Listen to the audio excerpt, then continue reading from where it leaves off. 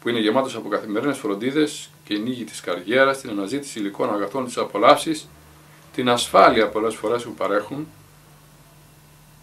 όλα αυτά τα υλικά αγαθά και να δεχτεί ένα άλλο ιδανικό ζωής που απαιτεί περισσότερη προσπάθεια.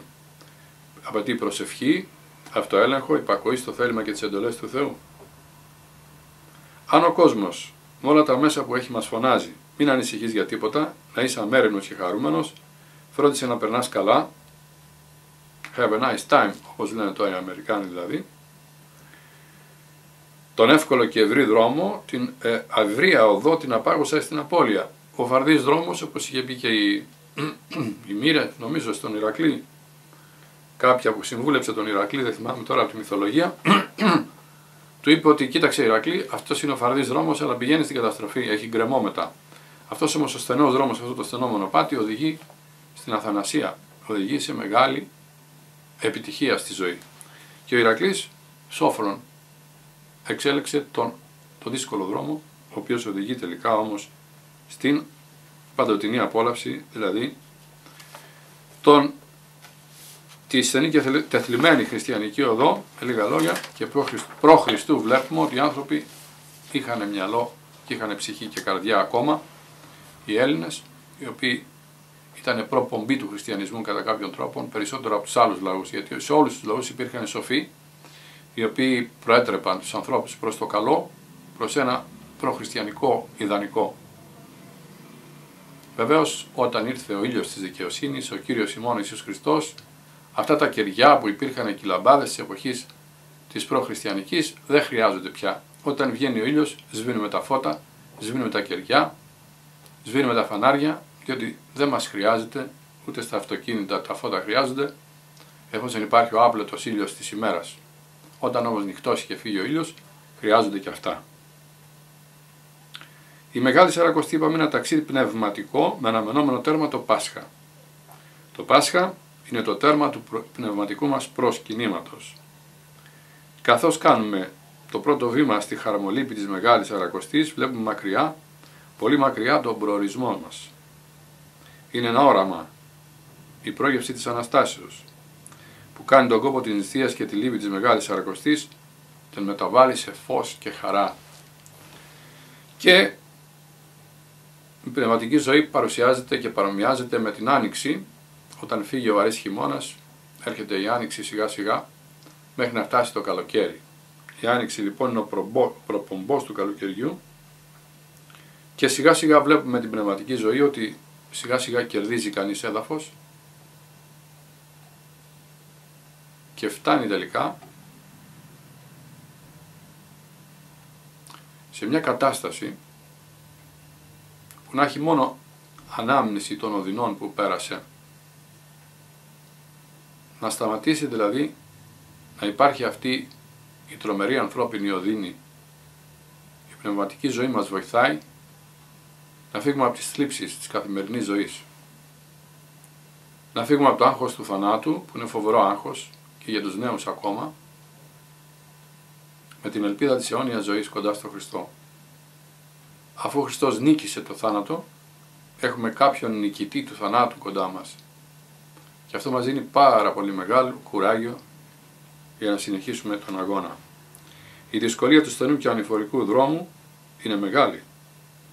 Η νηστεία σωματική και πνευματική είναι κουραστική. Η νύχτα φαίνεται σκοτεινή και μεγάλη, αλλά σε όλο το μάκρος του δρόμου μια μυστική και φωτοβόλα αυγή φαίνεται να λάμπει στον ορίζοντα. Είναι το αναστάσιμο φως, η χαρά της λαμπρής, της λαμπρής ημέρας. Και λέμε την ημέρα του Πάσχα λαμπρή, αλλά έχουμε σκεφτεί ποτέ γιατί τη λέμε λαμπρή; Γιατί οι παλιοί παρατήρησαν, και μπορούμε και εμείς να το παρατηρήσουμε, ότι οι λαμπρότερες μέρες του χρόνου είναι οι μέρες του Πάσχα. Όσο και αν φαίνεται περίεργο, εκείνη την ημέρα ο ήλιος λάμπει πιο φωτεινά. Και ενώ συνήθως τη Μεγάλη Παρασκευή έχουμε βροχερό καιρό, τη μέρα του Πάσχα συνήθως, συνήθως όχι 100% συνήθως έχουμε λαμπρή ημέρα, δηλαδή ήλιο που λάμπει δυνατά. Αυτή η χαρά της λαμπρής είναι είσοδος στη δόξα της Βασιλείας του Θεού. Αυτή η χαρά πρέπει να υπάρχει σε όλους τους ανθρώπους, γιατί με αυτή τη χαρά προχωρούμε προς τα πεπρωμένα τα χριστιανικά και τη διάβαση από τον φθαρτό αυτό κόσμο, ο οποίος λίγο μας ε, ελκύει πλέον, αλλά και αυτός ο φθαρτός κόσμος αυθαρτοποιείται κατά κάποιον τρόπο και εδώ με την πνευματική ζωή που θα κάνουμε.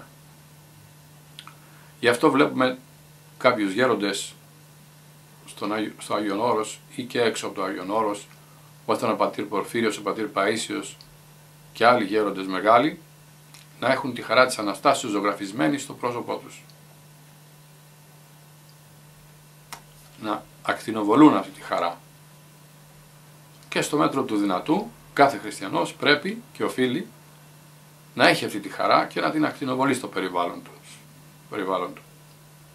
Ο χριστιανός είναι ένας ε, φωτοβόλος πρέπει να είναι ένας φωτοβόλος άνθρωπος, ένας λαμπερός άνθρωπος και στην εμφάνισή του αλλά και πνευματικά.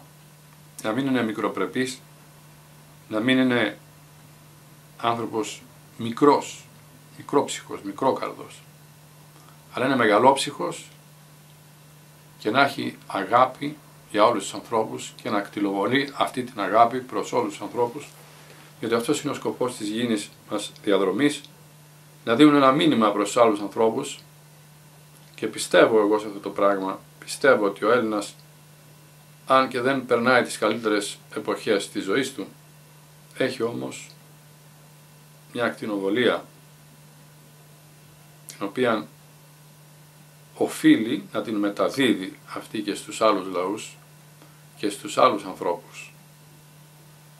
Όσο και αν έχει πέσει αυτή η στάθμη αυτής της ζωής και έχουμε τόση πολλή αμαρτία που γεμίζει πλέον τα πάντα, εν τούτης, λόγω της βαπτίσεώς μας, λόγω της ανατροφής μας κατά κάποιον τρόπο και της παιδείας μας στην Εκκλησία, την λίγη ή πολλή Εκκλησία, το σχολείο, το λίγο ή πολύ σχολείο, τις διδαχές των γονέων, τις λίγες διδαχές ή τις πολλές διδαχές των γονέων, έχει μείνει κάτι στον Έλληνα μέσα στην ψυχή του.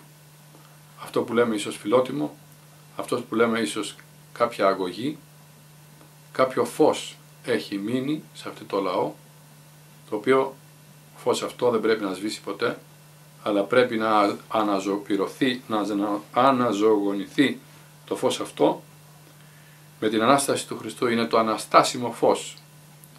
Όλων των άλλων ανθρώπων οι τάφοι φιλοξενούν τα κόκαλά τους και όλων εκείνων οι οποίοι θελήσανε να κάνουν κάποιες κινήσεις θρησκειών ανά τον κόσμο βρίσκονται μέσα στα μνήματά τους και αναπαύονται αιωνίως. Το μόνος τάφος που είναι κενός και όχι μόνο κενός αλλά και φωταυγής και λαμπερός, λαμπρότατος, είναι ο τάφος του Χριστού, ο οποίος ακτινοβολεί το φως της Αναστάσεως. Είναι αυτό το φως που το λέμε εμείς Άγιον Φως και βγαίνει στα Ιεροσόλυμα κάθε Σάββατο πρωί, κάθε Μέγα Σάββατο.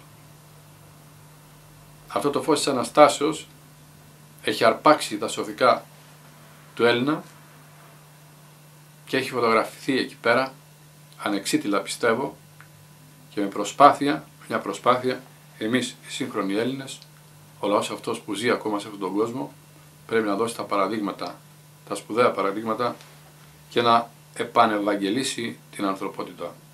Αυτό είναι το χρέος των Ελλήνων από ανέκαθεν, ανέκαθεν, όχι από ανέκαθεν, ανέκαθεν.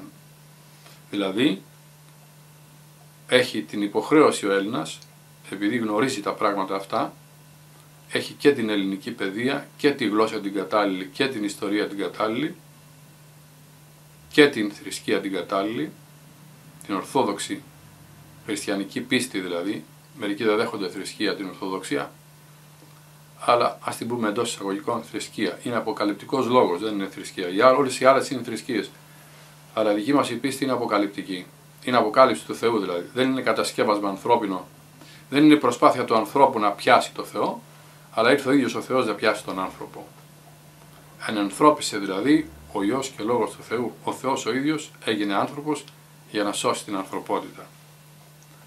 Αυτά να μην ξεχνάμε αγαπητοί φίλοι, ότι έχουμε υποχρέωση επειδή ξέρουμε πολλά να διαδώσουμε αυτό το φως. Έχουμε την Ανάσταση του Χριστού την οποία μπορούμε να τη διαδώσουμε σε όλα τα έθνη της γης.